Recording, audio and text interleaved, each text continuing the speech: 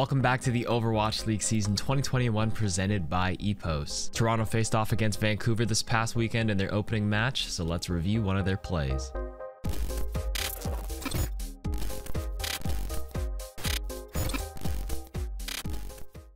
In this best of five, Toronto was already up 2 to 1 in the series and established their defensive dominance early.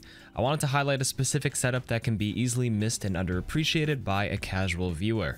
Hanamura has a tough choke point to break through as an attacker. It's very easy to be poked and spammed down when funneling all the players through one small area. Many teams opt to play Symmetra to counteract this problem on attack early on to teleport their team across the choke to position themselves in a more advantageous way. Notice where Michelle, Lastro, and Ansoonjae are positioned here. Instead of having all the Defiant players default to a position on the ground, the Defiant are covering some of the common TP placements so that they can boop the Titans back onto low ground and catch them off guard. Ansoonjae is up here to stop this TP. Lastro is also hanging up here because once they're booped down from Ansoonjae, the off-angle crossfire for BAP up here specifically is a very strong position to be in. Michelle is playing on top of this building to also boop them down if they choose to TP up there. If Michelle wasn't playing here, the Titans will be able to control this high ground and rotate to the awning and choose how they want to take the fight, and the Defiant don't want that to happen.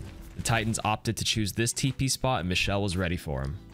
The Titans were put in an uncomfortable spot, couldn't advance how they wanted to, and just wrapped around on the low ground to the side and lost the first fight through what looks like a fantastic Mei wall from Neist, scrambling the Titans' positioning. And then I believe uh, that Mei wall actually go right on top of the TP to block it. Uh, uh, we'd have to get another look at it. The second time around, the Titans still committed to the teleport strategy, but sometimes the best defense is the best offense, and the Defiant took the initiative this time. They decided to play off their ultimate economy advantage because they won the first fight, and notice how Sado and Lastro are way ahead of Shredlock and Rolf, having both the Earth Shatter and Amplification Matrix ready to go. Ansoonjae speeds up the Defiant into an Amp Matrix and a huge initiation onto the Titans. Neist almost gets a clean wall off, but Teru counter walls to slow down the Defiant's engagement. Despite not getting a pick like expected, it was still enough to disassemble the TP strat, as only half the Titans made it through. The other half were left stranded out, separating the main healer Rolf from Teru, Shredlock, and Dalton.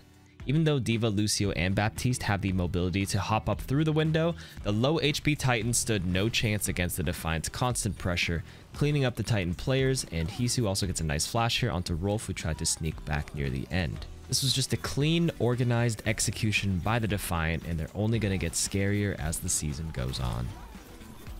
And that's it for this week. Be sure to subscribe to the channel and check out the other videos in this series.